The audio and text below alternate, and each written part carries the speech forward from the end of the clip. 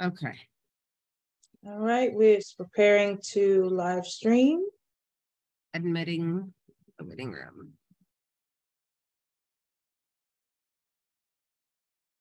All right. We are live. Hello, everyone. Hello, cartoon Sharente Car. That's fun to look at. Um, I am so excited, you guys. Today um, is a special episode of the Rebound Coach Live. And if you are new to virtual space with me, first of all, I'm really glad that you're here. And I normally start with hello, hello. This is Dallas Kohen, the Rebound Coach, and you're watching or listening to an episode of the Rebound Coach Live, a special episode in particular, a special discussion episode. But before we get to our discussion, I'll share just a little bit about myself. If this is your first time sharing space with, me and you're like, what is a rebound coach? I've never even heard of that. That makes no sense. Okay, got you. um, I'm a life coach, and life coaches help people get unstuck. I personally serve high achieving women of faith who have lived through betrayal, trauma, or abuse and are reclaiming territory in their relationship with themselves. I got into that, of course, with my own story Y'all, I was married 10 years to a man who wanted me dead. And uh, that doesn't make sense for somebody like me. I was raised in a good, godly home. I had two Christian parents. They loved God, they loved each other, they were married for a lifetime. All the statistics that are supposed to mean nothing bad is going to happen to me. At the same time, I was molested from the time I was eight to the time I was 16. And that radically affects, as a young person, how you see yourself. You're building identity in those years, how you relate to God, how I saw God in a household of faith, and how I related to men. Fast forward when I met the man that I married and eventually divorced, there were definitely red flags. There were definitely reasons not to be together. At the same time, I'm a woman of faith, always have been. And so when I prayed about it, I believed that God said yes. And because I believed that, I believed that whatever came, you know, I knew this wasn't going to be easy, but whatever came, we would outlast it. We'd overcome it. God would swoop in and save the day and change him. And everything was going to be great eventually. I just needed to stay and pray and do my part. And um, y'all, trouble came right away and never quite left. We got into a cycle of what I call coping and crisis. So it's where you never quite get to happy, you never quite get to good. You're just um, walking on eggshells and learning this dance of how to be very careful and survive. That's coping. And then every so often, some big crisis happens and then upsets everything. Everything's on the floor, and you're very carefully doing that eggshell dance again. We did that for the larger part of nine years, over nine years and uh, everything kind of came to a head. End of 2019, beginning of 2020, he left for another woman. He was a serial adulterer, and uh, this time he, I found out him and that woman had been plotting my murder, um, and had been doing so for months. By the time I found out about it, so needless to say, that's kind of a record scratch moment in the movie where you're watching the movie and there's a record scratch moment everything is you know just stops and you have some serious questions to answer and you know you're you're threatened on, on every level as a wife as a mom as a woman as a child of god also as a coach. I had been coaching around marriage and family for about five or six years by that time and had built an entire identity and platform around this idea of covenant and covenant marriage and why staying married was the most important thing. And I, I tell the story, it's like a teenage pregnancy. Eventually, eventually they're going to find out. And, um, you know, over the course of the next several months and a chain of divine encounters, divine set of circumstances, I can't even, I can't even explain how put together it was not only am I safe and alive, my children are safe. We're learning and growing, and deconstructing is the fancy word, but really, um, our identity is growing and shifting. And um, we've been able to choose life. You know, I had a choice to make. I could allow the identity that my ex husband had planned for me, and quite frankly, the one I had agreed to tell me who I was, how I was allowed to believe, how I was allowed to live, how many days I had left on the planet, or I could choose life. So I wrote a book out of all of that, which is a lot. The name of the book is I Choose Life Rewrite Your Love Story and Change Your Legacy. And it's not just about my particular it's a it's a memoir so my story is definitely a big part of it it's not only my story it is a path to freedom for those who have experienced abuse of any kind and it's also uh, a manual for those who love people who have experienced abuse so if there's someone you know and any of my story reminded you of them this book is for you you can get the book at thereboundcoach.com forward slash book. And Autumn, if you can put that in the chat for me, that'd be amazing. Thereboundcoach.com forward slash book. Um, also, I didn't realize this, so I I'm not watching the Facebook Live. Autumn, if you could, and just in case there are some comments there um, that someone can respond to, because I can't see that and this, and I choose this.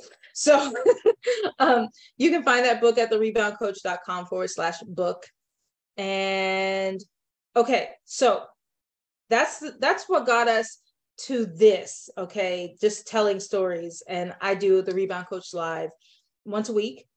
And uh I have a friend. Okay, so today is July 5th. It is the day after July 4th, Independence Day. And I have an amazing friend that I partner with in doing some amazing things. Her name is Malikia Courtney, and she goes by Coach MK and one of she does a lot of amazing things but two things i really admire about her number one she is a community builder to the core and number two she's a movement maker so for her 50th birthday which is tomorrow instead of just having a party because she loves party and she's a great partier uh, she decided to do something a social movement and the name of the movement is called Brave. So if you've seen the advertisements for today, you've seen a brave conversation, and brave is capitalized. And it stands for, I'm going to find it, being ready to advocate, voice, and empower. It's about standing up for what you believe in and being willing to protect it. And she made this movement and invited all of her friends, um, her mover and shaker friends, to host virtual conversations, to post videos, to tell stories about things that mattered, and to show some independence, right? So, independence is freedom. Independence is I no longer depend on this person, place, thing system. And it was social action oriented and people of color oriented. And uh, people pick, you can pick any topic that's important to you. So, July 4th um, was never a big deal for me. Uh, I've enjoyed celebrating America's birthday and whatever, right? And I used to hear, I used to hear about um, people who were rabble rousing on that day. And my ex husband, uh, he was just angry in general. So if he had an opportunity to be angry, he would. so this was July 4th. Hey, Rikia. July 4th was another opportunity to be angry. And so, you know, he'd make up injustices if there were none. He'd just make up some just to be angry.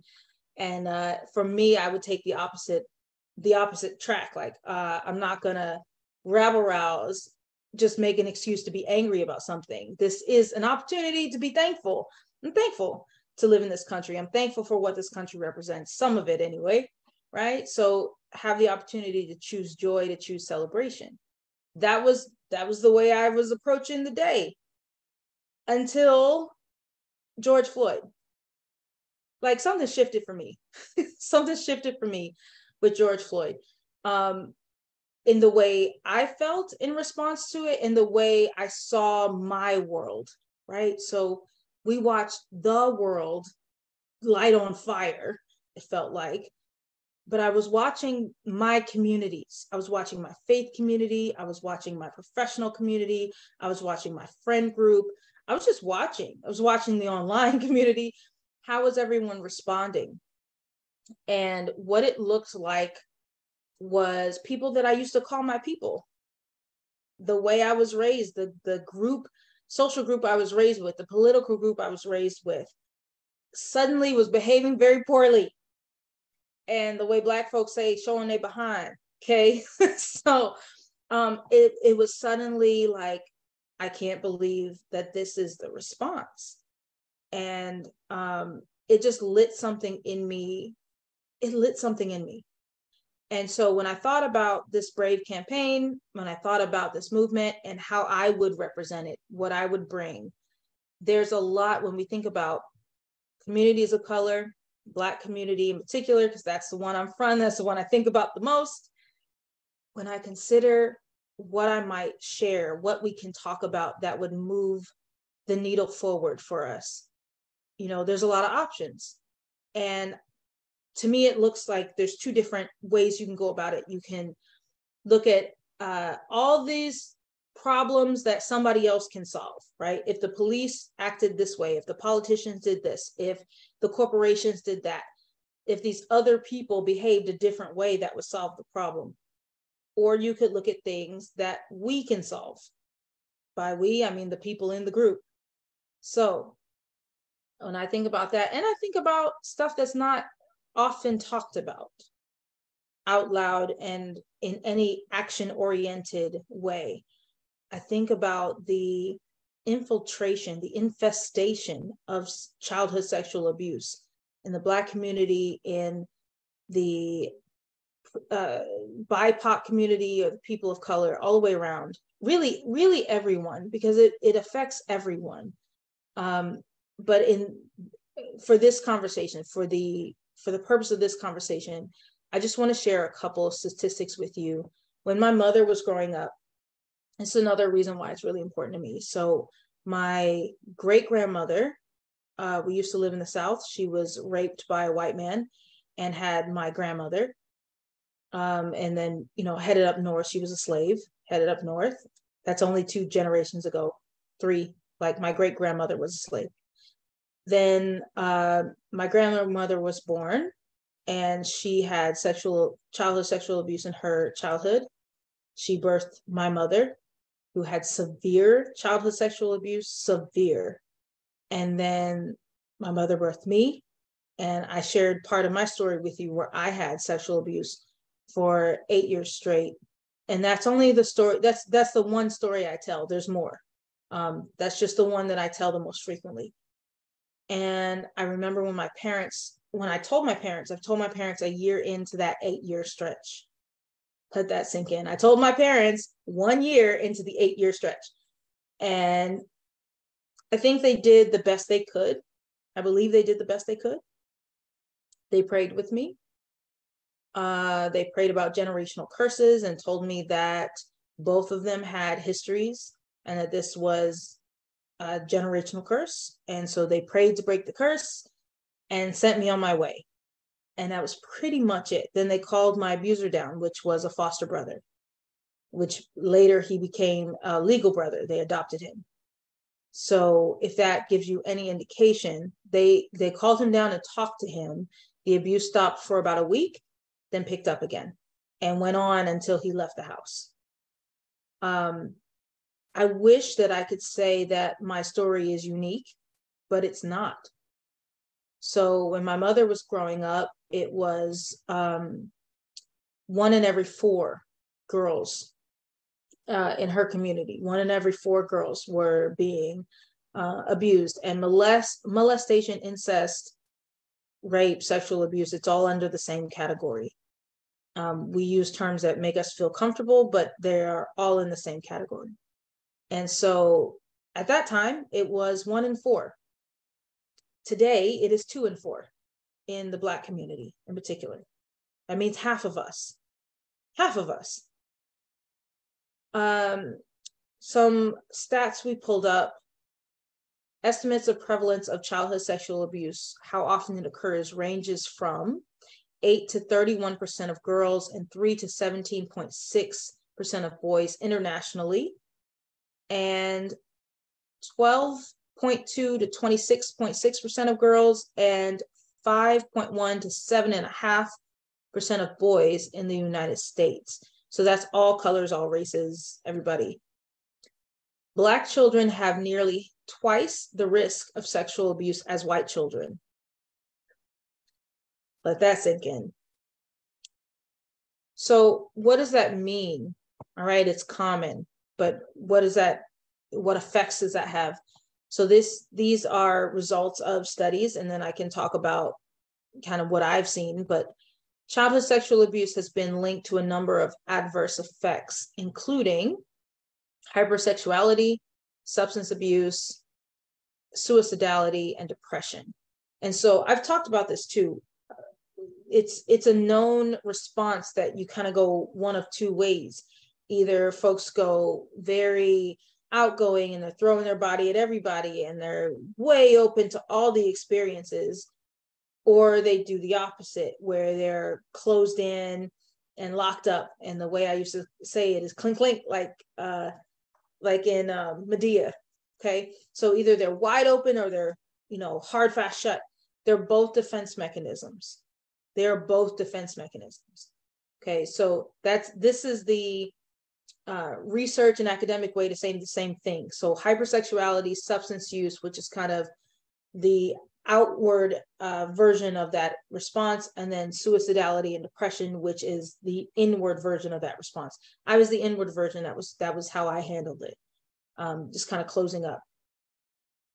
Um, despite a plethora of research on childhood sexual abuse little is known about its effects on how it affects adolescents the cultural factors that influence their coping styles there was a study founded on social cultural coping theory and the model of trauma genetic, traumagenic, there it is, dynamics of sexual abuse, suggesting that childhood sexual abuse consequences lead to maladaptive coping mechanisms influenced by socio-cultural factors. So this very, very fancy language, but what they're what their main finding was boys were significantly more likely to use substances in a response, while girls were more likely to experience depressive symptoms and suicidality. Um, and that was that was kind of their what they saw in the study. So I mentioned earlier, and I'm, I'm going to share just a few thoughts. I have some discussion prompts for us to be thinking about. I'll open the floor. I also have uh, a guest, which I'm excited to introduce to you all. He's new for us, for this community, um, to share about a solution that's working for him and his family. Because this is not just about how we heal as survivors, this is about how we choose to parent.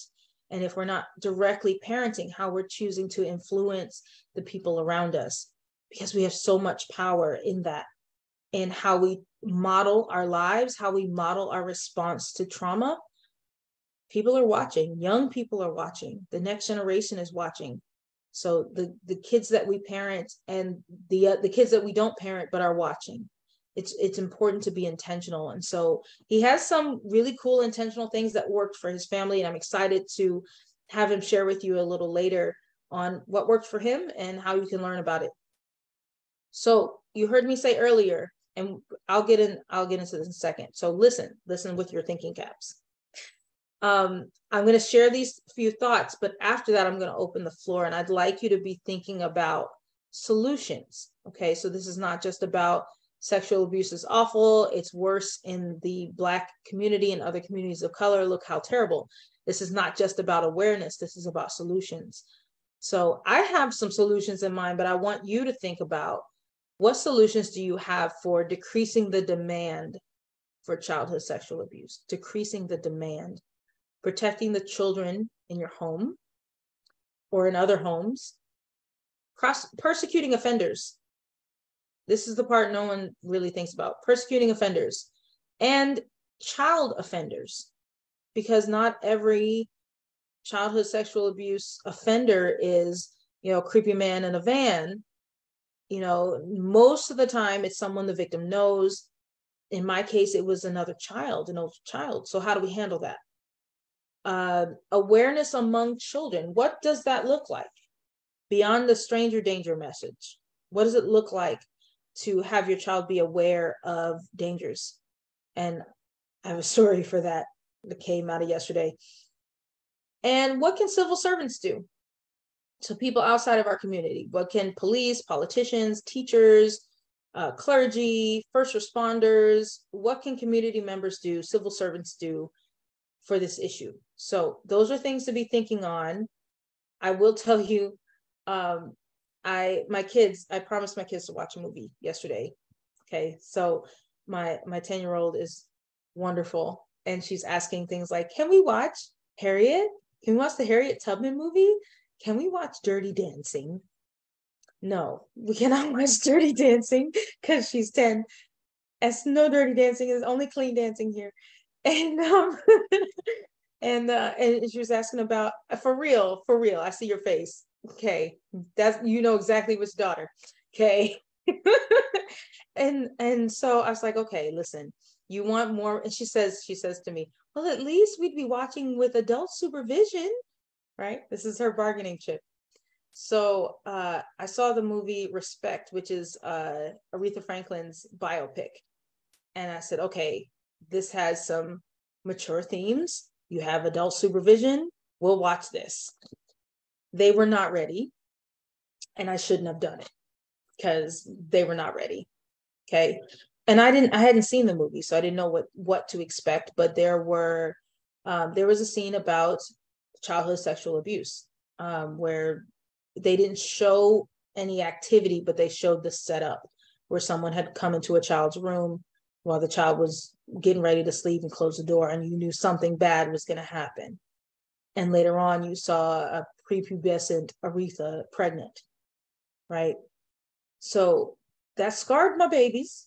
Hopefully not too bad because you know we talked about it, but it was a scary thing for them and and it's a fine line, you know. I want them to be prepared not just for the good of life but for the bad of life, but not afraid. Right? So I just I just share that story because we're all we're all learning as we go, you know, and I told them as they're like I'm gonna have bad dreams. I'm like, okay, listen. So the next time you want to ask me to watch a grown-up movie, I'm gonna say, no, we're gonna watch cartoons. they're like, okay. but uh, you know, we all we all learn that they're not ready yet. But but it's important. Like, even though that's a scary prospect and and really uncomfortable, and you know, we don't want to think about bad things. It's still important to for them to know like bad things can happen, and here's what we do right? We don't just and I, another thing I watch, okay, okay. I know I feel like I'm taking up all the story time, but I watched uh the documentary Shiny Happy People. I don't know if you guys know about that, but it is uh Secrets of the Duggar Family that were on TLC, the 19 and counting. Okay. So they kind of showed a model of um homeschool and what I would call crunchy mom, or what is no, can be known as a crunchy mom. But uh, this this whole idyllic looking family that oh if you have biblical values you're going to have a quiver full of kids and you're going to homeschool them all and you know look at our magic system but there was uh, sexual abuse going on not just in that household, but in their larger faith community, which they are pers- um, showing to be a cult. That's how they're describing that particular faith community and talking about the horrible molestation that happened all throughout the ranks. Here's the thing I heard, I heard, and this is, these are white people. So this is not a community of color story, but it is a sexual abuse story. And these, you know, humble looking, mild mannered white girls were talking about grooming, how they were groomed and how they were abused, and saying things like, Well, I knew this was weird, but I didn't know it was wrong. I knew this was weird. I didn't know it was wrong. So their internal, you know, their internal feeler was knew something was off, but no one had told them that it's wrong for somebody to touch you like that. And so, as icky as it was for my children to see what they saw, um, I still think it was valuable because they need to know that's wrong. And if that happens, you don't just sit there and let it happen. You scream and you fight and you kick and you tell your mother as soon as possible. Right. So it's, yeah, I, it's heavy. It's heavy, but I, I think these are conversations we should be having with young people and with the people that are entrusted to us. And I'm actually, I'm going to pause here and just open the floor and see if there's any comments before I go further. Comments, questions, thoughts. Feel free to come off mute. You could also use the chat. Oh, you got it. I thought you had your. The answer is never, never and never.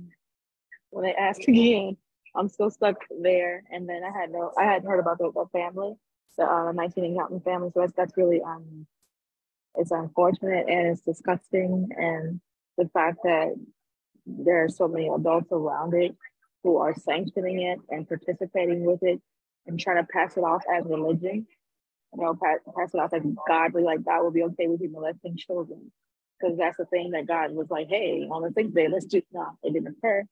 So it's a um it just adds to the the existence of things under the umbrella that the word of God has been polluted to justify. So I'm enjoying the conversation so far, and it's, it's, it's definitely something that we need to discuss. So I'm about to be discussing it. Hey, Dallas. Hey, Scott, how's it going? It's going. It's going. Uh, thank you for being brave. Thank you for doing brave. I just wanted to come in early because uh, my phone is so tired right now. It may cut off midway through what you're doing. And if that happens, I don't want you to think that I just dropped off and fell into oblivion. Um, but uh, hopefully, I'll be able to get some charge on it soon because I know questions are my responsibility. But once Absolutely. again, thank you for for doing what you're doing. Thank you, Scott. I appreciate you so much. Um, in in so many of my difficult conversations, uh, it's you're a comforting force. So appreciate you. So I want to share a little bit um, about how people are changed by sexual abuse. You heard in my story earlier, I said I gave you three ways that I was changed, right? How I related my to myself, how I saw myself, how I related to God and saw God, how I related to men. And so this is everyone is affected this way um, in these three ways, right? So thinking about how sexual abuse affects how you see yourself. Um, number one, there's definitely self hate, self loathing. Those are heavy words, and no one wants to admit to that. It's not fun. It's not it's not fun to say that that's something that might be going on in your head and your heart um, but it comes with the package. It's something to be worked through. It's something to be worked out. Self-hate self-loathing low self-esteem it leads to treating ourselves poorly and expecting others to do the same. Now we might not ever do that consciously. We do it subconsciously in how we treat our spaces and how we treat our grooming and how we treat ourselves, right? Putting yourself as the lowest priority and calling that loving others. We can spiritualize it. We can say, oh, you know, I'm just, I, you know, I'm a servant and, right? We can spiritualize those self esteem. um, in community, that might show up as suppressing childhood sexual abuse knowledge when you find out um, not reporting the abuse to others because that's just the way it is, not empathizing with a childhood sexual abuse survivor because it happens to everyone. You know, I think about my parents and I think about what they've experienced, what my mother experienced, and whether or not she felt comfortable to share that with an adult in her life. And I actually don't know that part of the story. I know some of the things that happened to her. I don't know if she ever told or who she told or if she felt comfortable telling anyone as a young person. And what I also know, and we watched that movie yesterday of Aretha Franklin and how common, you know, somebody else raised those kids, you know, grandma and grandpa raised those kids. How often do we have that in the Black community where, you know, grandma's raising a grandchild and that grandchild thinks that the mother is the sister right? That's that's not just something in movies and media plays. Like that's a real thing that happens in our community. Sometimes you don't know your real parents you just know the people who raised you right? Um, i talked to a woman wonderful professional, didn't know who her father was until she was like 13 or something. And there was a scandal and she found out about it, which was great. She found out before it blew up. But, you know, my point is it, this is common. This is common. And, you know, the, the temptation is to say, ah, oh, that's just how it is. You know, there's stories of men asking parents, asking mothers for daughters. Men, you know, he asked me for you, and I said yes. Like some crazy mess. How, how did this get normalized? How did this get normalized? How did this get passed down? How how are we just like being okay with this from generation to generation? Nobody says the hell, the hell, this is not okay. So obviously it changes how you see yourself.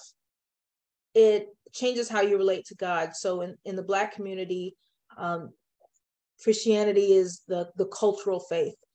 Um, so when you grow up with God, uh, Judeo-biblical Judeo Christian, there's the word Judeo Christian God. If that's inbred in your culture and sexual abuse is also inbred in your culture, you expect God not to protect you. You expect God not to protect you. Like, God's clearly okay with this. For women, in like you heard my story, you heard me say, I believe God told me to marry the man I married. And then we saw what happened, right? For women who got guided to choose abusive men, and I'm not the only one, either, you know, you come to a conclusion either you can't trust yourself, right? You don't believe whatever, you know, you don't, you can't trust your God voice, or God is cruel and wanted them to be mistreated, wanted me to be mistreated, wanted others to be mistreated.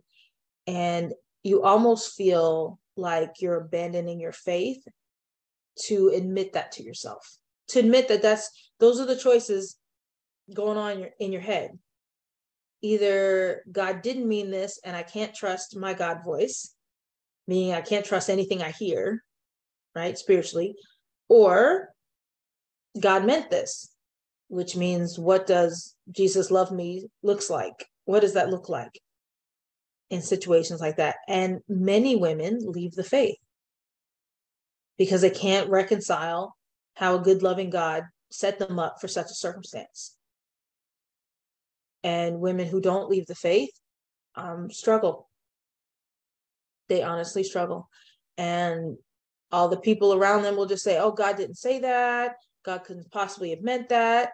But they didn't live out the situation, right? So it's that's easy to give platitudes when you didn't walk it. And I know that I'm not the only one because I, in my own healing journey, I found a community of women who experienced the things I experienced. And there were some serious questions about whether or not God wanted them safe. Women who were still in the marriages, right? Does God want me safe? Is this okay? I don't think it's okay. I have to stay married, right? The Bible says this and the Bible says that. And I used to take those same scriptures and go behind platforms and beat people over the head with them. I sure sure did. sure did. So I, I know both sides of that narrative. And it's a scary thing to love a God you can't trust. In community, how we relate to God shows up as believing the oppression has more power than individual choice the oppression of whatever, but in this case, the oppression of sexual abuse has more power than your choice to make a change. The oppression of the system of uh, the sanctity of marriage and how people honor marriage above above safety, above people, um, and believing that is more powerful, more proper to honor than your own safety. And then third, it changes how you relate to the opposite sex. Um, and I'll I speak from the perspective of uh, a woman who was abused, a girl who was abused. That was my experience, but clearly it can go the other way as well. It, you grow up with an expectation of men are not safe. Uh, men are just out to use and abuse you. Like I said, I share my one experience with you, the longest of uh, my abuse, but not the only. And so I had an entire belief system and culture that I am still growing out of that men are not safe. Men are here to use you. They're only here to get what they want of you. They're not interested in who you are, just in what you have. Right? Expecting women to be safer, but that's not necessarily the case, right? We know women and girls abuse also, just as boys and men do. So there's no, uh, you know, equal opportunity offenders here. For enablers, um, I've been an enabler, my hands up. For enablers, only feeling comfortable or seeing yourself with project men, this is my air quotes. Um, you may also hear that as missionary dating.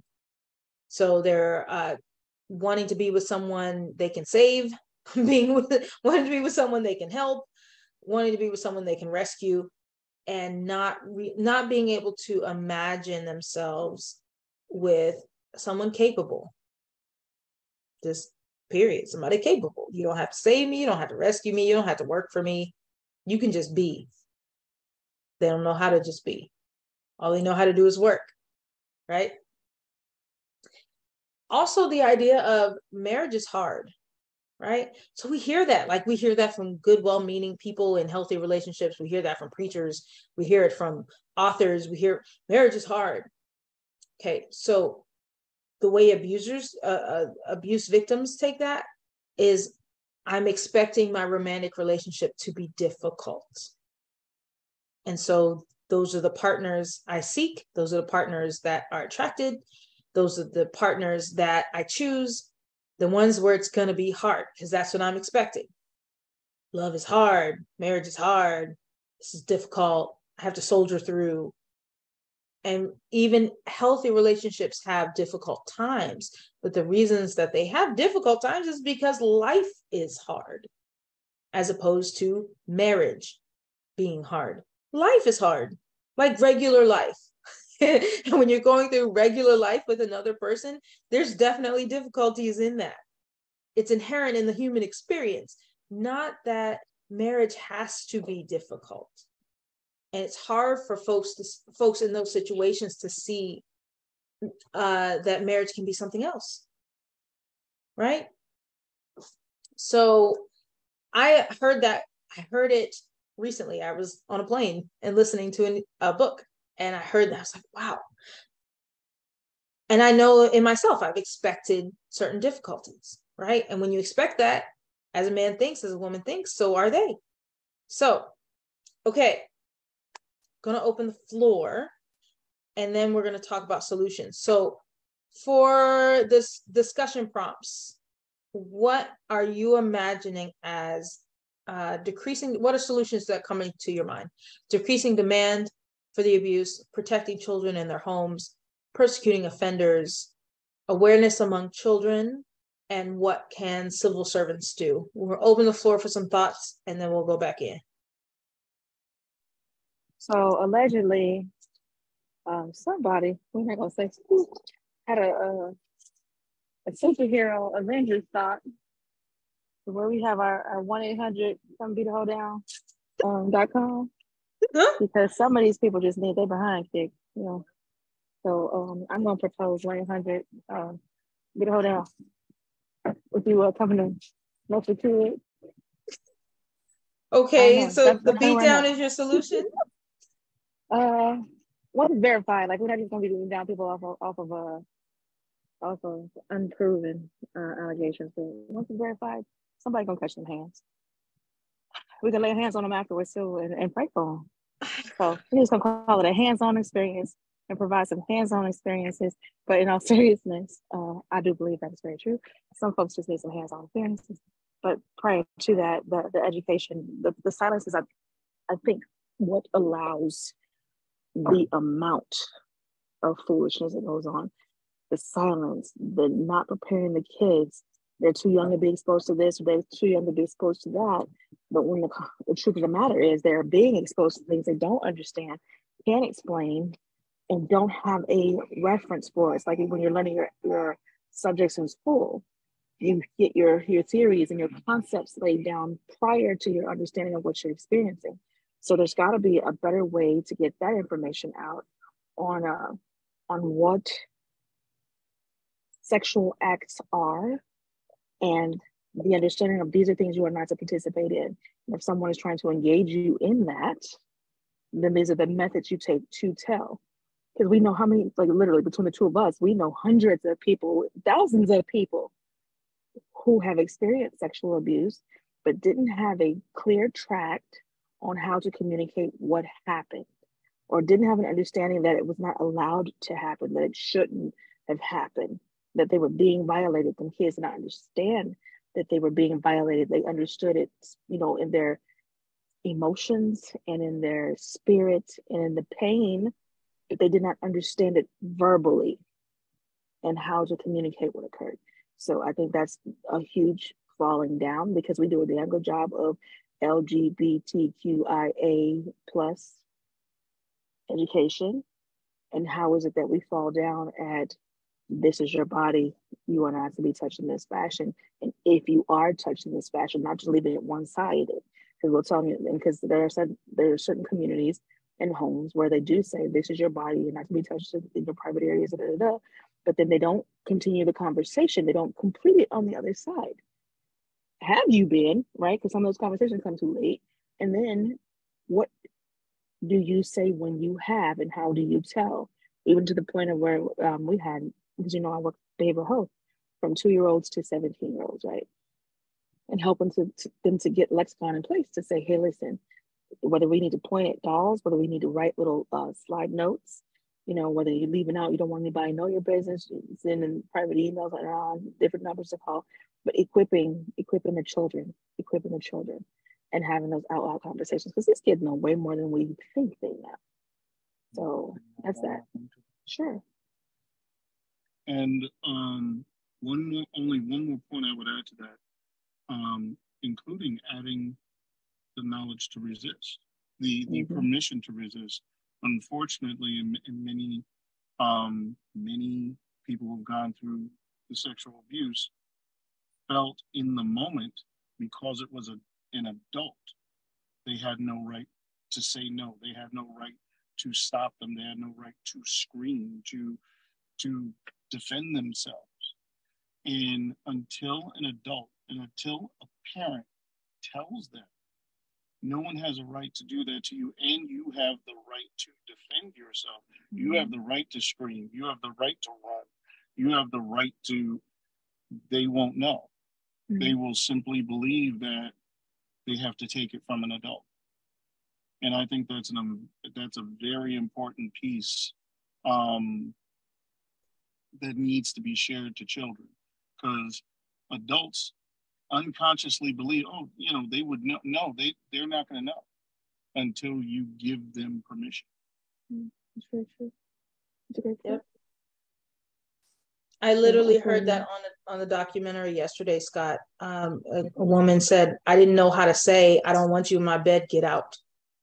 Like didn't just didn't have the words for it and it's so it's so important even though these are uncomfortable conversations to have with our children it's it's important to do it. Yeah. And i i hear you and my phone wouldn't go very loud but we did hear what you said. And it's and so that's what i would um, say in seriousness in jest and in seriousness. Because once again some of these people need a hands-on experience. With that i'm complete.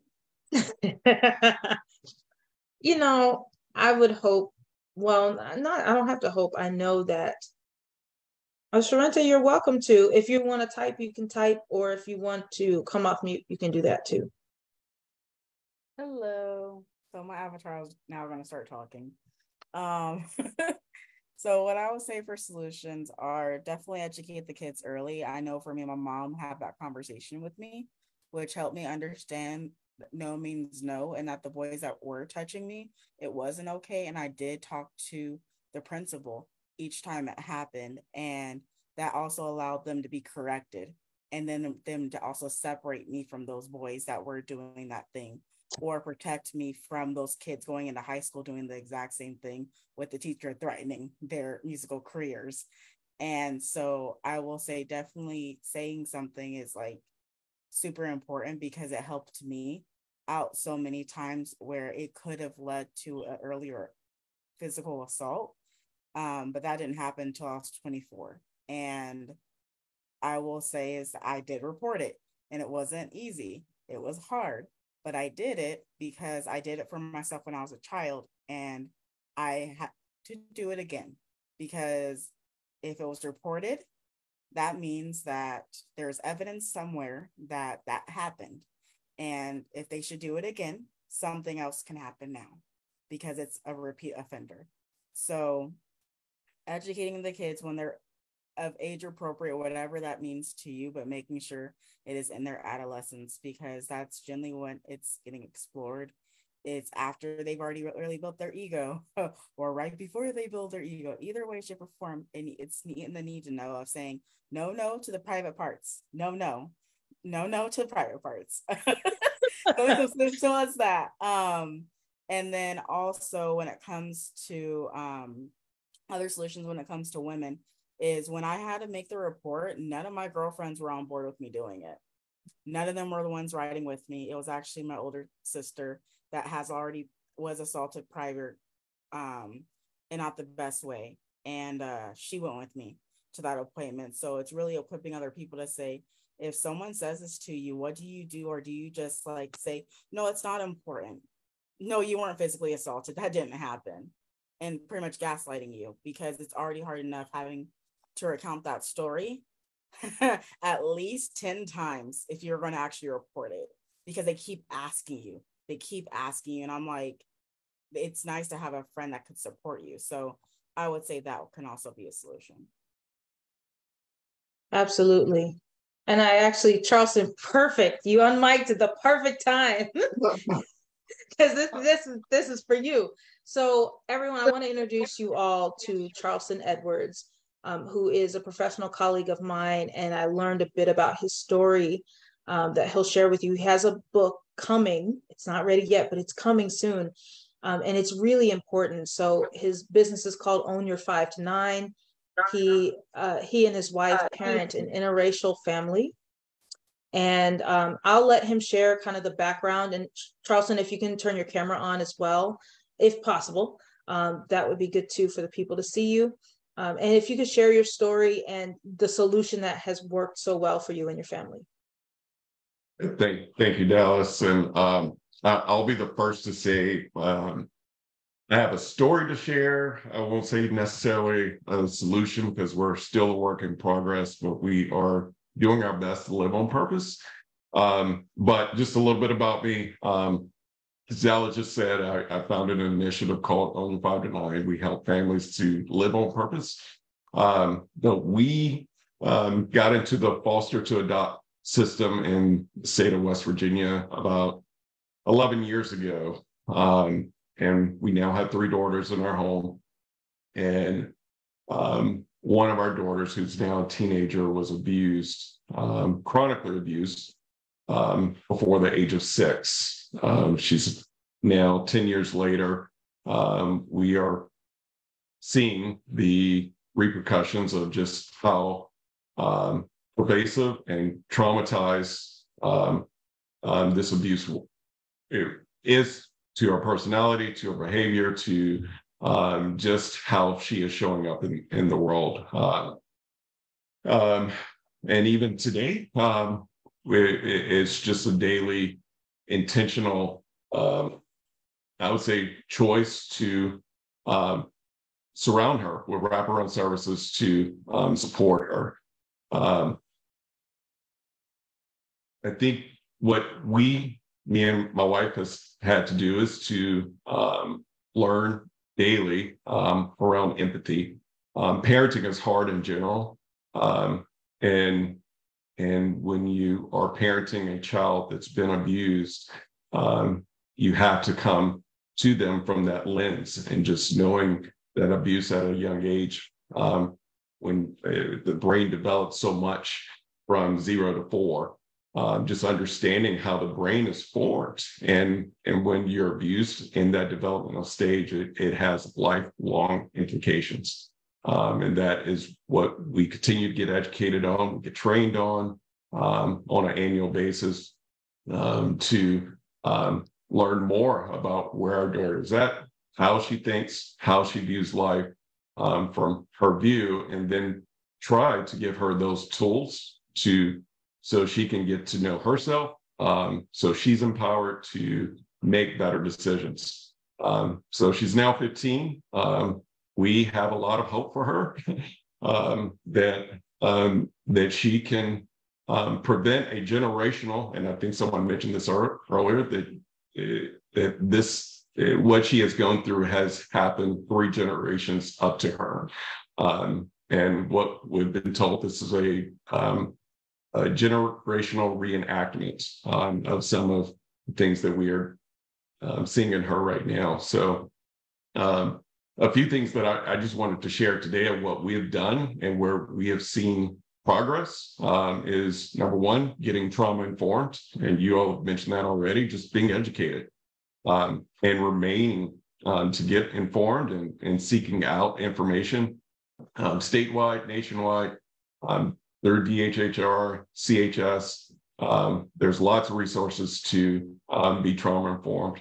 Um, embracing communities like this, Dallas, thank you. Um, this type of community is needed for those that have gone through it or have close loved ones that's near to it because it is a ripple. our daughter's trauma is our trauma. It, it has implications in, in our entire family. Um, as mentioned earlier, wraparound services um, um, from the various types of therapy. Um, um, from a state perspective, we we weren't aware early on of just how many resources there are out there to support um, those that have been abused. just being able to call up your local DHHR, there are tons of resources out there. for us as parents, um, we sought out a trusted circle. We needed a circle of friends that could we could be vulnerable with, that we can share with. Um, groups like this where we can just open up and, and be real. Um, the the next thing that that and this happened two years ago, we proactively got our daughter an adult mentor and a, an apprenticeship. Um, we realized we needed more than us to pour into her. We needed an entire community and a village um, to um, give wisdom, to give life skills, to give social emotional um, skills. Because when you've been traumatized um, from a social perspective, um, in a way, she is still a four year old, even though she's 15. Um, she has the intellect of a 15 year old, but from a social perspective, she needed she needed more wisdom and she needs more wisdom. Um, so we, we've been very selective, proactive, screening um, who these mentors are and um, putting her in healthy situations. Um, and then lastly, connect. Um, and, and, this has been our biggest obstacle because one of the um, things that she suffers with is RAD, which is a reactive attachment disorder, um, which is a unhealthy connection to adopted parents. Uh, so we've we've been combating that, um, just knowing she has that to find ways to be more intentional. And, and this is the premise of the book that I'm putting out of um, uh, focusing on family culture. And for us, uh, it, it is surrounding ourselves around our top core values as a family um, and taking those values and embracing one mission statement. Um, and when we did that, it just it, it, it was a light bulb that went off that we weren't being intentional. um, and and as much as we were doing for the last 10 years, there was much more that we could do to be on purpose, um, to live life um, with the focus first on our family, career second. And I know not everyone can do that, but it, it, it turned into a, a lifestyle change for us. It took two years to make some moves to be able to create more space where we can be with our kids, where we can coach our kids. Uh, and some of the things that you already said of just how we can educate our kids, um, creating boundaries for them. Um, but all of that are around the family alignment, doing strategic planning, circling around um, values, and then living out those values. So your kids are seeing that, hearing that, um, and you're teaching them. Um, so those are just a few things that that I had on, on my mind, Dallas. Um, I'll give it back to you. I so appreciate you sharing, Charleston. What what strikes me about what you're doing is uh, being so intentional. As a professional, we spend time and energy strategic planning for the businesses that we're employed by, the businesses that we're running, and I don't know if that if that thought travels to, hey, I can strategically plan for my family. So I'm curious. You said it took two years to make some moves. You got really focused around core values for your family, a mission statement for your family. As you've been kind of rehearsing those things, what kind of changes have you seen? And I know you have two other daughters you mentioned uh, before this call were are neurodivergent, which is a whole different thing to tackle. Um, but how what kind of changes have you seen uh, in your parenting um, and, just your family dynamic after making these changes and kind of focusing around something strategic? I will say the biggest change, Dallas, is um, the stress level has subsided um, all around. Um, our kids struggle with stress, their own anxiousness. Um, with neuro certain types of neurodivergence comes with a fight and flight mentality, um, ADHD, uh, various types of autism. Um, that was playing out with uh, me and my wife as well, just because the stress that we brought home from work um, and having that that tug of war. Uh, right, should I play a game with my kid? I need to cook. I need to do this. I need to respond to this email. Like it's just um, going around, but that lifestyle change has reduced our stress. I can now breathe. I can be more present. And if our kids need one of our attention, nine times out of 10, I can say yes. Um, and that's our goal. We we want to create a schedule in that space to be able to say yes, or at least one of us. And, and um, that is tag teaming. Uh, my wife's in the office, I'm homeschooled, or I'm in the office and she's homeschooling. But um, but that biggest thing has been just being able to reduce the the stress that is created by our own lack of time um, in space. I think another important thing you said was about building a village around your your kids, um, and I think in the Black community, in the lower socioeconomic areas, there is a village. There's an inherent village. Everybody's not safe in the village, but there's clearly a village. And I saw that when I got to um, starting to work in nonprofit, starting to work in youth development.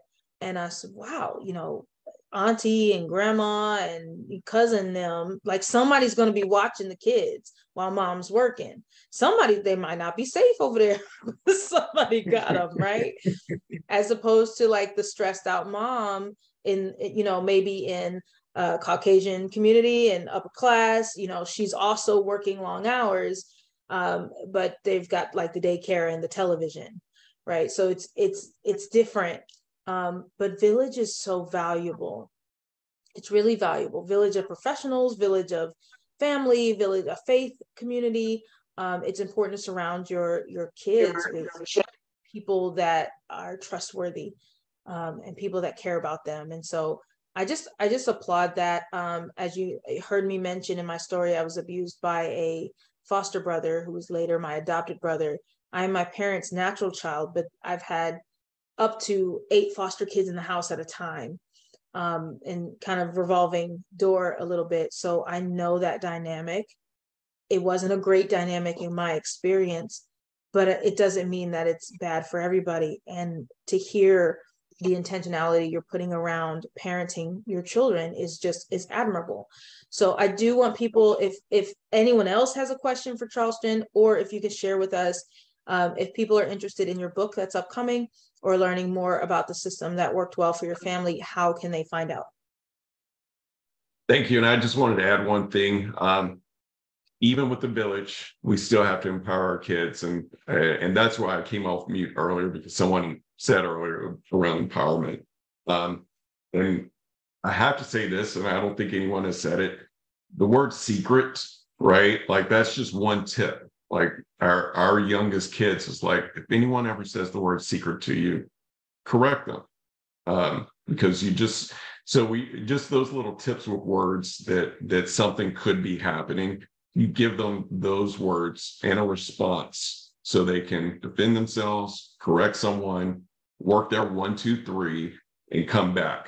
Um, and thank you, Autumn. We don't keep secrets. We tell surprises, right? It's uh, just one of those things. So I just wanted to add that um, that even with the village, we continue to empower our kids in case we can't see it all. Um, um, so anyway, if you want to um, follow me or buy my book when it's out, um, you can visit ownyour5to9.com.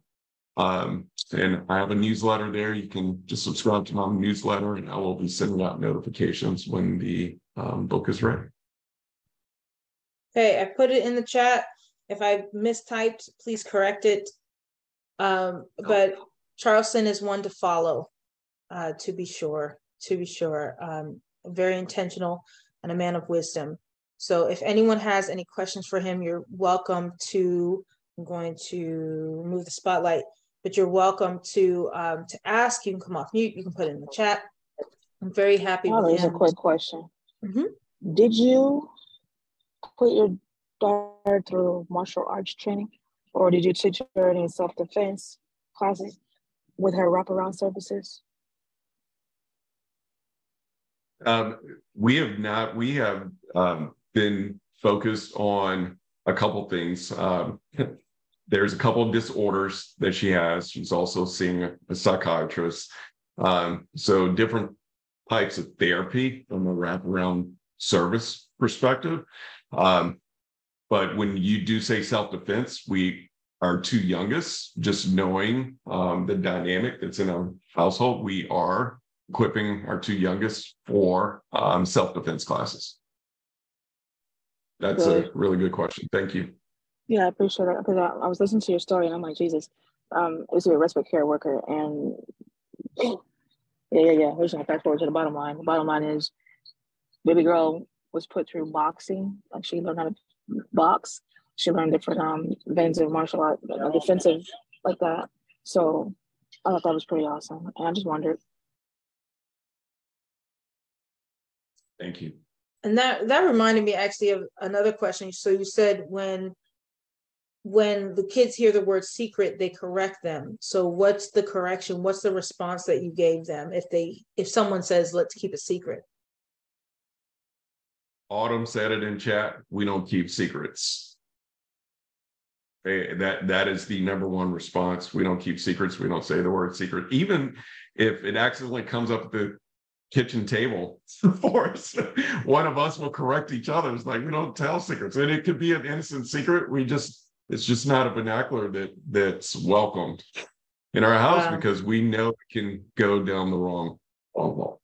Uh, I think when you come from a family line that has family secrets, right, that that have come out mm-hmm. over time and that have been so so damaging. My mom worked really hard to remove that vernacular, as you just said, from our vocabulary, even to the point where when my not yet stepfather, but stepfather, you know, I asked him for Mexican food, but he also paid me and said, Don't tell your mom. I knew better. I told mom anyways, right? And she had a conversation with him and said, we don't do secrets here right? It, it is something that you know i've just never never spoken about secrets with my kids just because i didn't come up with it. But you know it, it is it makes a lot of sense and it means a lot more when you come from a family where secrets were held and they were very very damaging and have taken years to recover from and, and in some regards still haven't right? It, it, it, takes a lot of time. And we actually have um, a guest on facebook who's saying the same thing right? It's difficult when the abusers are in that village right? When those of us who have a village and, and have abusers within that village it's very very difficult to speak up and to get the help that's really necessary in those situations. Um, and and i don't want to speak to somebody else's stuff but you know it, it is very difficult at times when those people are so close to home it's true and and you know when i mentioned folks have a village, but the village is not always safe. And that's that's true. And that, you know, one of our discussion prompts was what can the civil servants do? So teachers are part of a village. In the homeschool circuit, that's eliminated too, right? But if a child goes to public or private school, there are people who don't live in the home that are part of that child's village just by default. So, you know, church leaders, first responders, teachers, politicians, police, people on the street, you know, what can those people do? Are the silent observers, you know, what can they do? Something that I heard my kids say. So, Karen, welcome. I'm glad you're here. Um, I shared my story earlier, but in the tiniest of nutshells, um, my ex husband and his mistress was trying to kill me. Um, and my kids were seven and eight, seven and eight, or six and seven um, when all that was happening. So it's been a few years. And uh, I hear my kids with each other saying, you know, don't tell, don't tell our family business. Right. So I'm very public with my story. I've written a book. I share it frequently. My kids have heard me share it there's parts that they don't know. I don't think they're old enough yet. They can't read my book, right?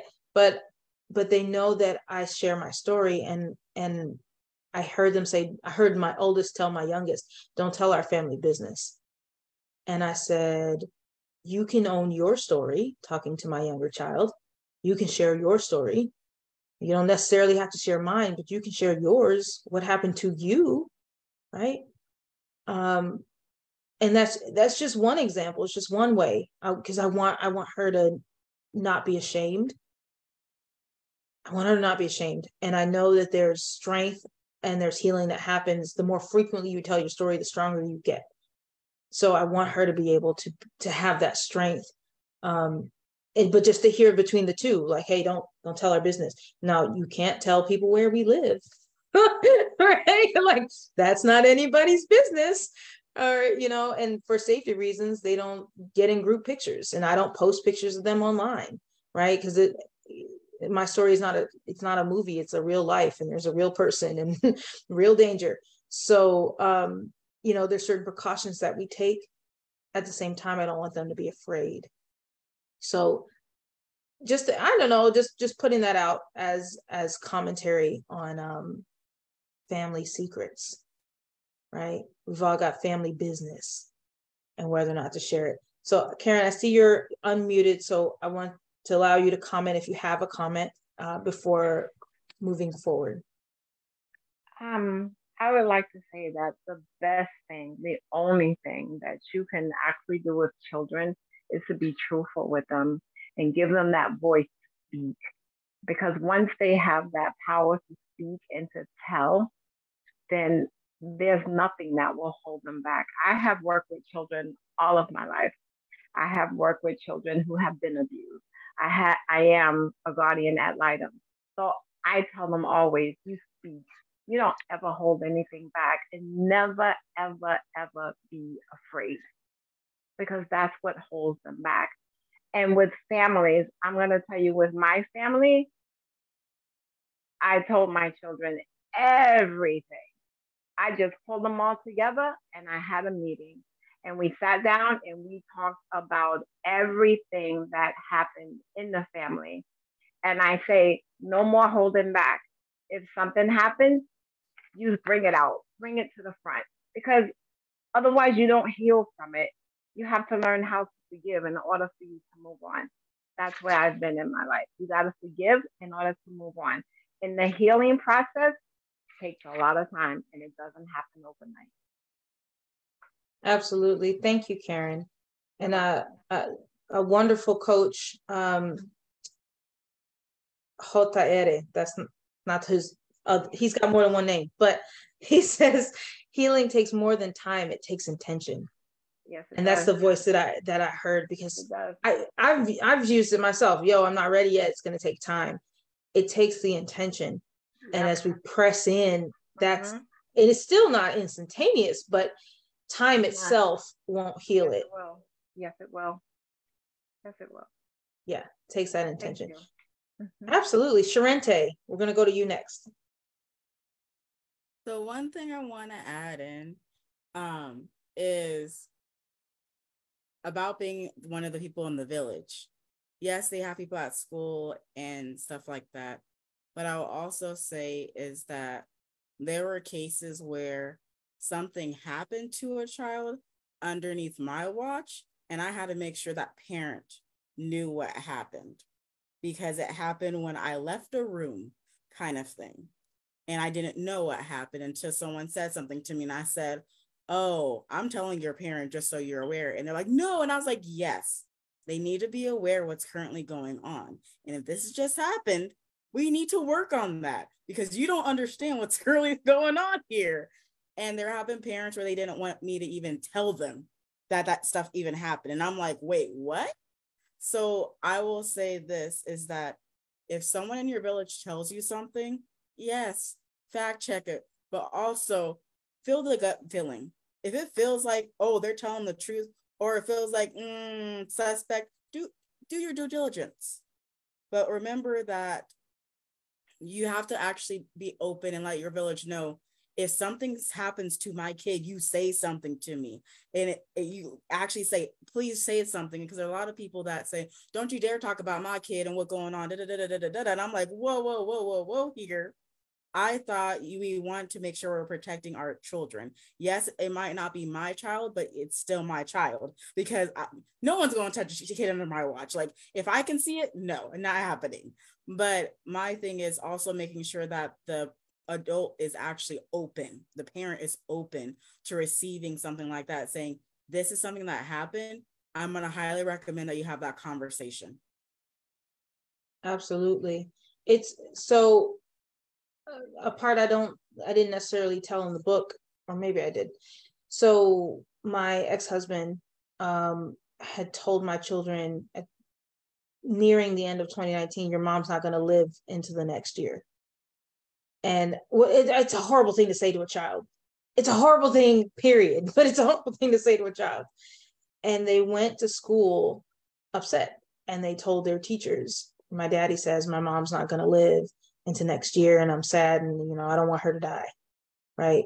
And so my pa- my kids go to a Christian school and the teachers consoled them and prayed with them and comforted them but didn't think to tell me anything. Like okay so i want to say i want to say they were definitely wrong because anytime something like that happens you're yep. supposed to make an incident report and contact the parent.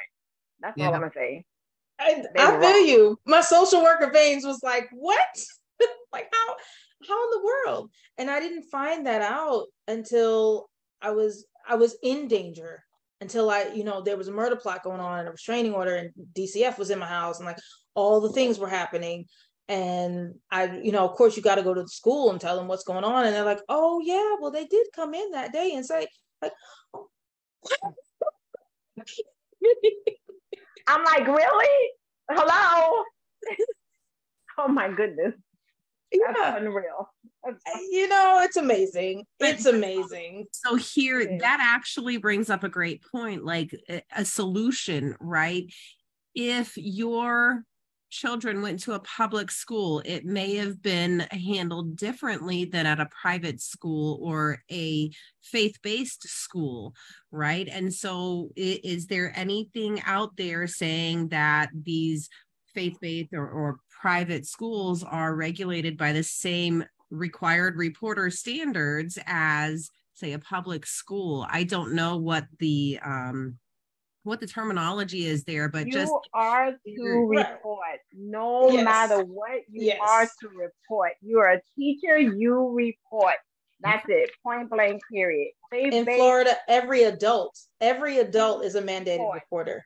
Okay. Yes and and i don't think that every adult knows that right? I i know things because i know people who have taught me things but i don't know that every adult knows that they are a required reporter in this state. That's a key piece that people need to know. Yeah that is and, a key piece definitely but those were teachers. They should have contacted her. Yes Yes, they should have contacted me for like sure. Words like, let's go. Come on. and they they did an amazing job. I'm not trying to throw them under the bus. All things considered, they did our family well. However, that was a really big mix missed cue. Yeah, anyway, anyway, we don't have to keep going down that road. But what what I will, um, I really appreciate this. Um, I really appreciate this discussion. It's been it's been really healthy. And so what I want to do is share a, a solution that we offer. So Malikia Courtney and I host a beautiful event. It's called the Sanctuary Experience, and it's a three-day VIP healing experience for women. Uh, it is it is close, so we don't. These events aren't large; they're intimate, and it is intense. Um, and so I want to show uh, a brief video of the first of such events that we had. This one was from uh, 2021. And so some of the things we're talking about creating space for people to be seen and heard and safely share uh, and receive love and building a community and building a village. This is what this event does, and not just the three day event experience, but the community that's built between events. And so I want to share a little bit with you and let's see if I can share my screen. And then I can't see you when I share my screen, but hopefully you can see and hear everything. Okay.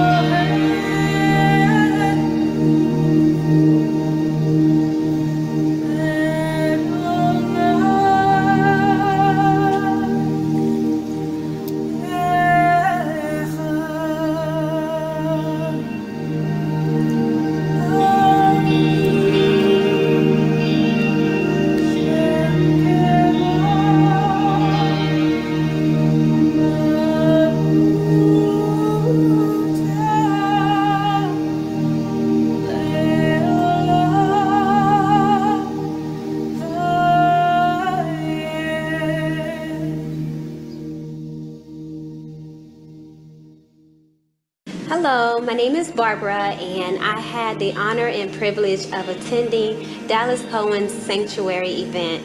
This event has um, blessed me truly. It's given me an opportunity to step away from the everyday noise and busyness of life and just pour into my heart and my soul.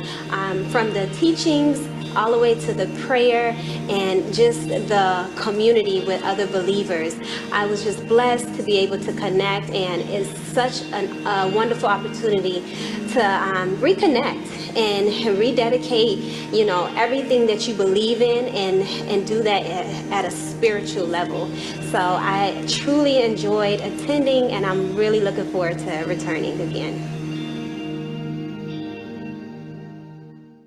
Hey, beautiful friends. My name is Hannah E. Scott. I was one of the speakers at this event, but I also had the beautiful opportunity of also experiencing it. And I just have to say, this experience was magical. There were many tears, so much laughter and healing and breakthrough moments that I got to experience with other people and just the women who just came around each other in community was so beautiful. So if you're considering coming to this event in the future or getting in contact with Dallas, please do so. You will not regret it. It's such a beautiful experience and I was so happy that I come and I hope to see you guys at the next one. Bye.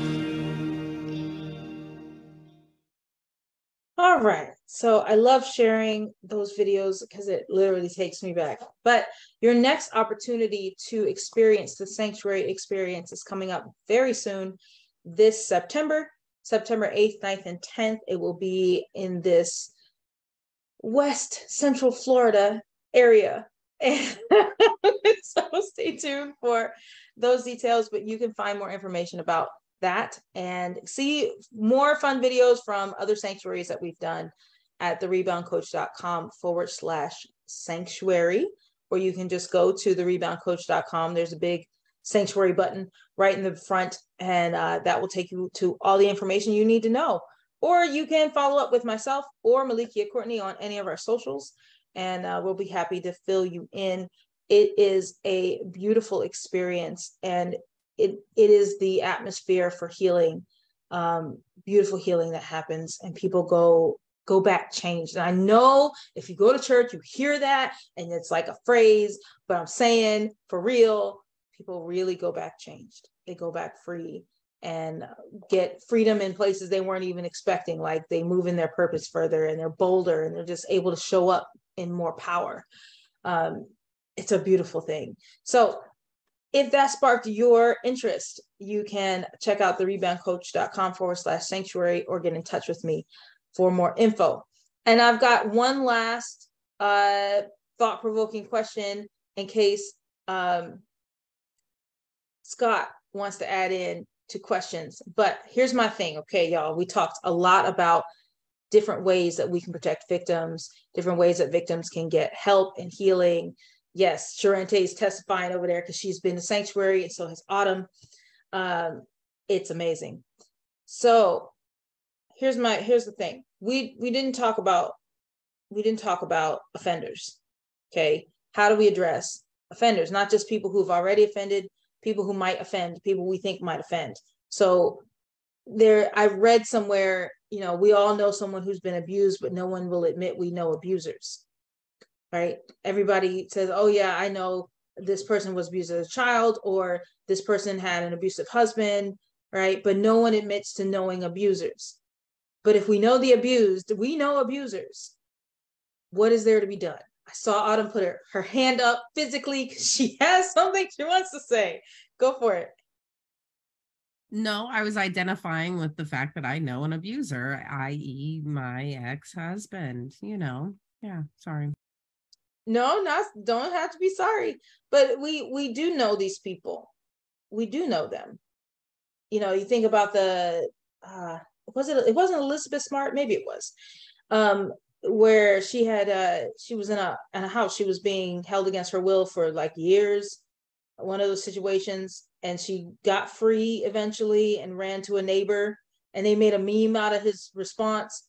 Y'all remember this y'all remember, did I? I, I y'all remember, remember what you're talking about yeah I, I don't know if that was I can't remember the name, but I know the one you were talking about. Yes. They made a whole rap song out of his soundbite. It was hilarious and sad.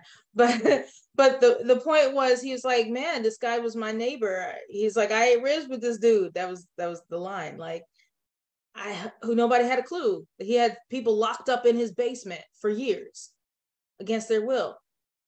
What are we doing about that? Is there something to be done? It's the question for the floor.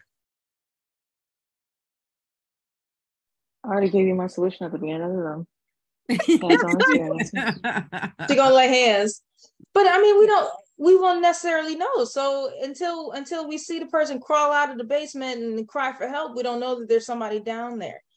Listen, you handle the pre-care. I'll have to. I'll handle the uh, aftercare too you know so so your so, question your question is a provocative one because number one how will we know? But number two are we supposed to live in fear of everybody that we live next to on a regular basis? Like these are my neighbors. Am i seriously supposed to live my life in fear wondering what are they doing in their bedroom or what do they have going on in their house like that's not something that i'm going to do. I'm sorry i choose I choose life. I choose freedom. I'm not doing that, you know. Did I hear Scott or Charleston? So, um, to your question, and at least from the perspective that I'm approaching it, um, the one thing when it comes to ab- abusers that I think that we can do is the more that we promote conversation, the more that we promote um, everyone talking and the more that they know the environment is a space where um, they are not safe because people will speak.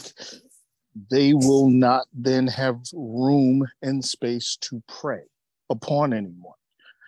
Um, i do not have a lot of thoughts, suggestions, or otherwise as far as what can be done with someone who is an identified abuser. I'm going to leave that for some other soul who uh, is more skilled and patient as to how they can be healed, fixed, and brought back to the fold.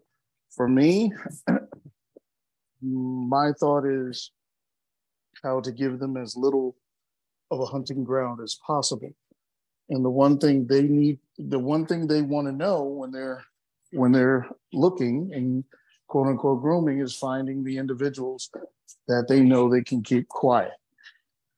So for me the more they know and they see this is an environment where people talk talk openly talk often check in see what it's about. They know y'all ain't the ones. That's what I would add. Okay. I saw Charleston on mic and then Sharente. I see you in the chat. So Charleston and then Sharente. Yeah. Um, I think there's more than one answer, but I, I will give the perspective from a parent of an abused child. We we made the decision to um, called cut off access um, forever, um, at, at, least till um, our daughter, you know, leave, leaves the home. Um, and it wasn't just the abuser; it was also the members of that particular family unit that allowed it to happen, knowingly allowed it. Um, which also has to be called out that there's an abuser, but then there's the aider, aider, eight, eight and the betters. Um, that um, came out. Um, so we we had to make a tough decision um, in this particular circumstance for our child safety. Um, so, absolutely, Sharente. You know I'm a kind soul, but I am going to second Malikia K. Courtney's um, appeal and I'll also say this is that so when it comes to the court system, when it comes to reporting of these things, they treat the assault as if it was a petty theft. Uh, what I mean by this, I'm just going to be honest, is I was coaching one of my clients who was assaulted in a different state and moved um, across country so she can feel safer. She had to fly back to Virginia to um, go to court. And what they gave him was a two week jail sentence with 100 hours of community service. Wow. Um, so I would say that when it comes to solutions, I would say, I, I don't know, petition judges and let them know that assault is assault, whether it is sexual or physical, it should be treated the exact same way, kind of thing. And if it's to a child, it, there should be higher consequences of the fact that the person needs mental help and they need to be separated from society so they can get that dedicated help kind of thing. And I will also say is that when it comes to the abusers as well, is to also, if they're here, if it's crazy uncle, whatever, don't let crazy uncle, whatever, come to your house. And if he does, you call the police. I don't care what ethnicity that this person is. You call the police because they have to be removed because they are a danger to your children and family. So that's what I will also say when it comes to the abuser. Absolutely. I love all of these points. Karen, so, Autumn.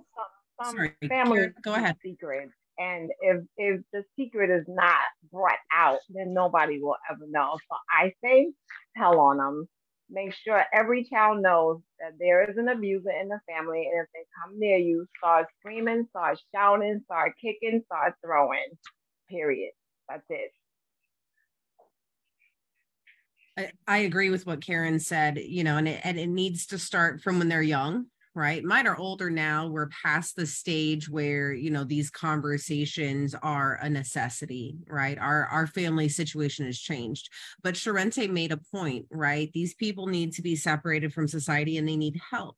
So uh, most of the time from what I've seen, these people are separated from society, yes, but where there is a lack is many times the incarcerated do not get the help or the services that they truly need. Uh, Department of Corrections does what they can to keep them fed and clothed uh, and, and, out of trouble as much as they can, but the the services portion of it, the rehabilitation portion of it. You know, Isaiah, my 14 year old son, picked up something. We were watching SWAT the other day, and it was DOCR on the show, right? Department of Corrections and Rehabilitation. And he says to me, he says, Well, mom, he says, with that, it just says DOC, it just says Department of Corrections. I said, Yeah, because there's so many situations where the rehabilitation portion of it is completely cut out or cut off from what it used to be or what it in my opinion should be. Yes they should have services to rehabilitate them. Yes they should have counseling and all of the you know when we lost custody of our kids we were made to go to parenting classes and counseling and na meetings and you know all the things. When these people are separated from society are they forced to go through these things? No because these things are not offered to them most of the time. And if they are they're so meager, I would say, right? They do just enough to get by and they don't really seek for true rehabilitation of an offender. So, sorry, got a little bit passionate there for just a moment because it's something that hits really close to home for us. If, if I can chime in on that one, go for it. I appreciate your passion on that. I think that was Autumn, correct? I'm sorry, I'm I'm moving around a bunch. Um, that was me, Scott. All right. Um, in my opinion, and this is also coming with a law enforcement background, don't have statistics. I'm just speaking from from where I sit. The unfortunate truth is there are some people who can't be rehabilitated, regardless of effort and desire. There are just some people who choose evil um, and that is who they are. Not saying they're born that way, and I'm not saying God can't fix them. All I'm saying is that if they don't choose Him, there ain't nothing we can do about it. And the fact of the matter is, unfortunately, um, because the way the courts are, because the way the laws are, you know, can they train them how to hold down a job? Yeah. Can they train them how to pay bills? Yeah. Can they train them how to be good, upstanding, moral citizens who will never prey upon another human being once they get out? That is an entirely different skill set. Um, you know that that I don't know how many people can really say they have that they can download into some others. Uh, it's far easier, and and I know this sounds very dark, but it's also very true. If you just look at the laws and how things are are weighed, it's easier to get murderers to stop murdering than than rapists to stop raping. You know, some murderers may spend a long time in jail or come out and they've killed who they're going to kill. They're done. You know, you you don't hear about some of the murderers who are living right next door to you. But rapists, sexual abusers, there's a whole bunch of laws about where they can live, where they can't live, where they have to register this, that, that. Murderers don't do that. Murderers, you don't have you don't have those things in place for. And I'm not saying it's apples to oranges, but but what I'm what I'm I guess my frustration in this situation because I completely agree with everything that is being said. The only issue is I don't know if some of the some of the individuals we are talking about are redeemable at least by us. So then um the only thought left is protection because until I know that I can put mine around you and they're okay, they won't be around you and you won't be around them. And that's the end. That's just my thing. Ooh, heavy comments, but uh thank you for that perspective. And to your point, when we when rapists do get to court, when child molesters get to court, there's scores, you know, dozens of women who are coming forth you know uh, even even if we don't get as far as as rape uh, in with sexual harassment in the workplace or something by the time somebody gets to court there's so many women coming forward because it's happened over and over and over and over and over and over um maliki i see that you're unmuted did you want to add something well it occurred to me too like in the course of our conversation we have said um the awareness pieces but it struck me in the same way that we have the, well, we used to have a rehabilitation in place for corrections. There has to be some rehabilitation for parenting because, and I'm not, I'm not shooting at anybody. What I'm saying is, we have so many things to distract us in life. Like life is set up that way. Our systems in America, at least, are set up in a way to fragment attention. And they are set up for us to abandon our kids to childcare, TV, um, curriculum or curricular extracurricular things. So the village, right? We are um, we are geared that way, especially single parents. Of course, someone wants to call me. Okay, let me see. Of course, I get a phone call, but the rehabilitating of how we parent, restructuring of how we parent, and the attention, like with having children, the learning that does not take place. We don't have anything in place that's like, hey, you're about to have a kid, come take this class. We offer, you know, there's a bunch of people who've authored books and stuff. And then some are fortunate to have um, intact families so I don't believe in that normal stuff, but intact families where they, they are able to pass on um, of information that will help with parenting. But we do not have something in place to educate the parents. And then we have a reactionary things in place.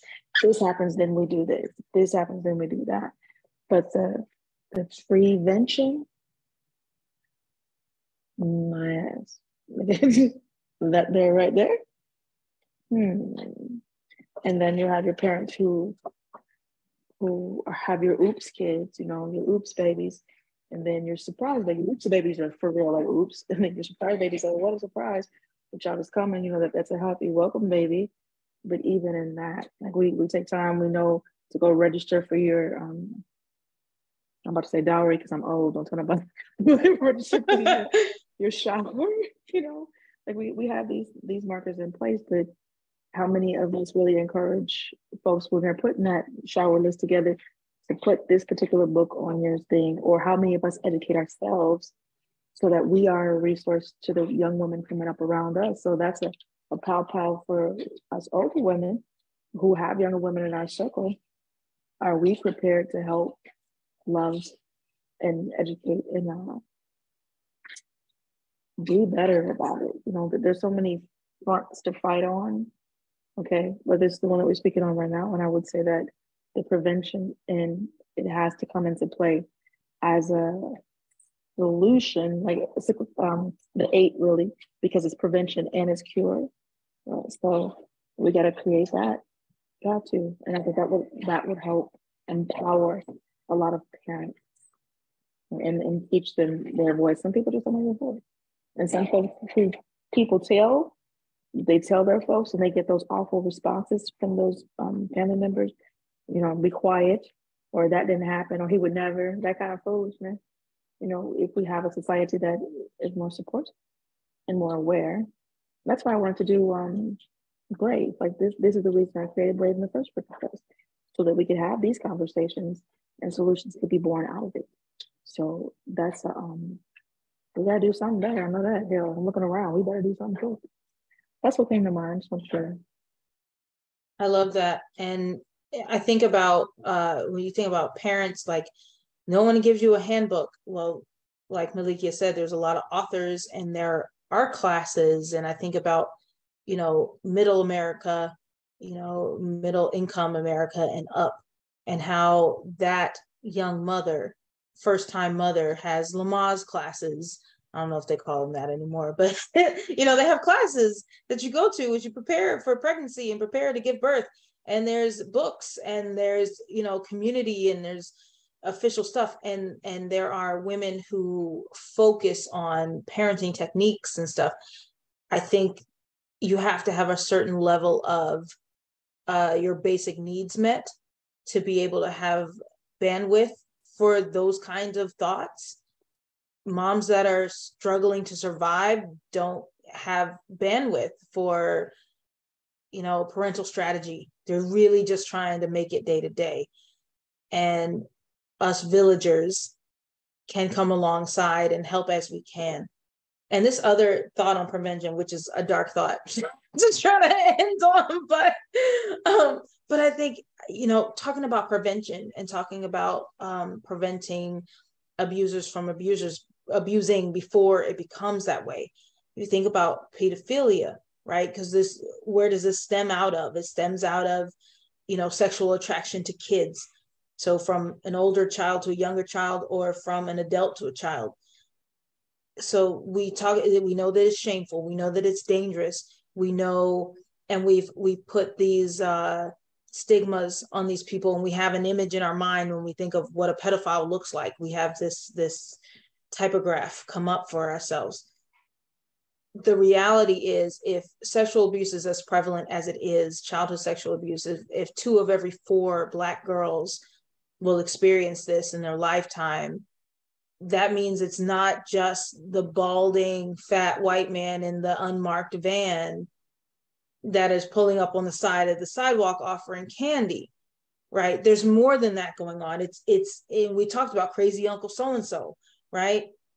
This is going on all around us and the question is do people that that secretly identify so you you know that every you know people are not okay with how you feel right? In the case of someone who has these thoughts or feelings they know that this is not socially acceptable. They know that if they want to express this they need to crawl into deep corners of the black web and the dark web and other corners of society where they're allowed to do these things but the question is if they don't want it now not everybody will like scott was saying some people is they just choose an evil they just, that's what they're going to choose.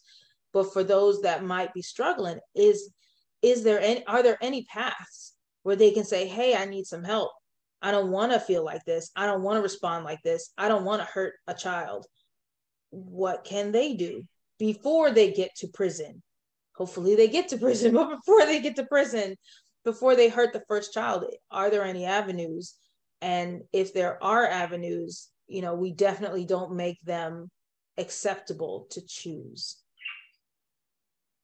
And that's a heavy so thought but i, I think it's an wanna, important i just want to chime in really quickly. You know these are adults that we are talking about that are abusing the children but that child what that adult was abused as a child. So there has to be some way we have to find to fix that when that child was broken so this way, that child will not continue to break other children as they go through life, because that's exactly what's happening. You're an adult, it happened to you. And before there has to be some way we can we can stop it because otherwise they're just going to keep on abusing. They were abused as a child and now they're going to grow up to abuse other children because it was done to them. So we need to find a plan, a purpose to stop them at that point and have them heal so that this way this behavior doesn't continue. Absolutely. And the same the same with older kids. And it's also very prevalent in foster kids, foster families, as it was in mine. Um, and I thought I heard Scott. Yep. Um, I'll chime in on this one. So, are there paths? Yes, there absolutely are. And I, I would say um, not every abuser uh, was abused. Um, some abusers that you know had completely quote unquote normal upbringings and yet chose this life. Um, there are things to pay attention to. Um, just like just like drugs, just like alcohol, just like any type of addiction, um, there are certain things to pay attention to, uh, not only in the personality that changes, but the things that they are involved in and being secretive about. And and you know, very rarely do you. Let I'm, I don't like making blanket statements, but when you have an individual who's stepping into some form of lifestyle of abuse, if you will, it's not often that it starts out with, well, I'm going to go drag someone behind a dumpster and rape them. You know, they may start out eh, like, once again, when you talk about addictions, what is the gateway drug or what is the gateway thing? What is the thing that's, you know, it may start out with porn and oh my God, is he, is he bad mouthing porn? And no one should, anyone who watches porn is going to end up becoming, no, I'm not saying that. But what I am saying is that individual becomes more and more obsessed with these things and looks for harder core things. And you know these are the kinds of individuals and and i'm speaking from a certain place of knowledge of things that i've had to investigate as a juvenile missing, missing persons investigator and a law enforcement officer that the things that they fixate on aren't enough and they get to the next thing. You know um, where they may start stalking where they may start following when they may start wanting to keep uh, keep things as keepsakes you know and you know it, it, it's that personality that grows over time. Uh, and the weird thing is like we we say oh there's that one in the family or that there are people who know. They don't want to say anything. They don't want to be accusatory. They don't want to. You could be intervening, okay, on behalf of this individual who needs to be taken off of this path.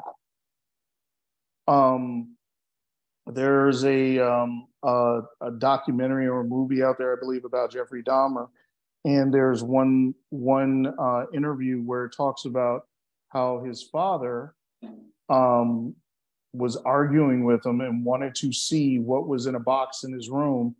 And he said, Let's not wake up grandma right now. I'll show it to you tomorrow. And he said, If I had just pushed, I would have found evidence of what he had been doing mm-hmm. and then you know everything wouldn't have been done and he would have would have been stopped before he killed so many others mm-hmm. Um, because even jeffrey had admitted if my father had found that box and what was in it the jig would have been up then wow. Some of these individuals need someone to derail them before they do awful things. And that and that's just the way it is. And us being silent us saying oh he's just quirky. He's just that way. They're just a little off if you know a person is wrong in society they need to be told they're wrong in society or else they're going to act like it's okay you know because they can get away with it and that's the stuff that emboldens these people because they believe well since everybody sees me and isn't saying something, it's okay. The, the ones who the ones who they don't bother are the ones who they know will talk, who will say, who will call them out. So I, I'm I'm gonna I'm gonna stop right there. Ooh, I just need to take a breath. we all just need to take a breath. Guys, I so appreciate everyone and all of your perspectives, all of your sharing, um, the honesty in this room right now. It's it's really really important. And while we have a lot of distractions and things to, like Malikia was saying, to kind of split our attention, um, it's important to rally around things that matter. And uh, while this is is serious business, um, it's really important. So I just I just want to applaud each and every one of you for join, joining me here on Zoom. For those of you who are on Facebook watching and commenting, thank you for this. Um, feel free to share this conversation with others that value this work and care about um, current or former victims of childhood sexual abuse. This is um, it's not going away and it's also a conversation that shouldn't go away so thank you to malikia courtney for having a brave movement for her birthday. And um, thank you all for joining this brave conversation. Um, I it's almost 11:30 here on the East Coast, so that means we've been talking for two hours. Um, and I, want to give space to people who need to go to bed. so thank you, thank you, thank you, each and every one of you. If you have more things you want to share or any of this you want to you know you want to follow up you can get in touch with me uh, my info is at thereboundcoach.com or if you're watching on facebook you know this is my facebook page. My inbox is open. Um, i just value each and every one of your time. Thank you thank you thank you for being a part of this really important brave conversation. And until next time folks choose life. We are wrapping for the evening. Choose life. Thank you for being brave dallas. Thank you. Thank you, everyone.